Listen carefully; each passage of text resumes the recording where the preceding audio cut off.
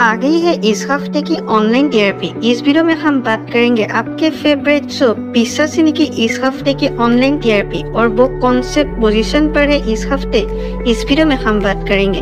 अगर आपने अब तक मेरे चैनल को सब्सक्राइब नहीं किया तो सब्सक्राइब कर लीजिएगा। बाजू में जो बेल आइकन है, उसे भी प्रेस कर दीजिएगा तो आइए वीडियो को शुरू करते हैं। न्यायरा बनर्जी, जिया शंकर, हर्ष राजपूत, स्टारर शो पिस्सा सिने की कहानी ऑडियंस को शुरुआत से ही बहुत ही ज़्यादा पसंद आ रहा है। इस शो का टीआरपी लास्ट फ्यू वीक से सिर्फ़ 22 की टीआरपी ही निकल कर आ रही थी। लेकिन फाइनली इस हफ़्ते इस शो का टीआरपी थोड़ा सा इंक्रीज हो चुका है। इस हफ़्ते पिशा सिंह का जो टीआरपी मिला है, वो है 23.0 और ये शो है इस हफ़्ते नंबर 14 के पोजीशन पर। तो पीशा सिनी के फैंस के लिए ये है खुशखबरी, क्योंकि क्योंकि आपके फेवरेट शो के टीआरपी इंक्रीज हो चुका है। पीसा सिंह की बीआरसी के टीआरपी शुरुआत से ही बहुत ही कम निकल कर आ रहा था।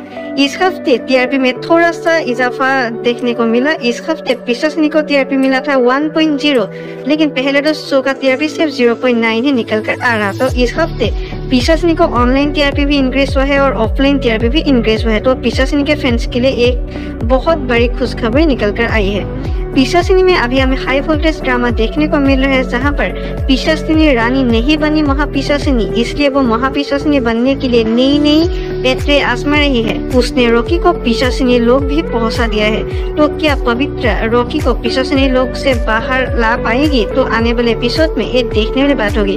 अभी तो कारवा शॉट और दिवाली का ट्रैक भी आने वाले हफ्तों में आएगा और बहुत सारे नई नई कैरेक्टर के भी इंट्रोड्यूस होगा। पिशासिनी के अपकमिंग एपिसोड में। तो बहुत ही ज़्यादा एंटरटेन होने वाले हैं आप पिशासिनी के अपकमिंग एपिसोड में।